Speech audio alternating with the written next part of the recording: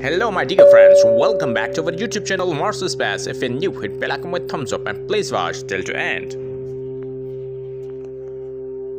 This image was taken on Sol 3480 of its mission on board NASA's Curiosity Mars rover using right Mastcam and spotted a mysterious structure. Watch in zoom. It looks like a secret entrance of Martians. Possible secret entrance of Martians?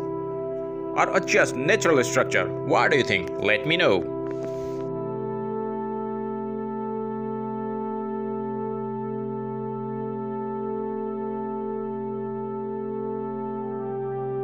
And here are latest images of Mars captured by NASA's Mars latest Perseverance rover. Mars Perseverance rover using its right navigation camera. Photos captured on 25 May 2022. Sol 448 like the video, share the video to your best friends. Thanks for watching.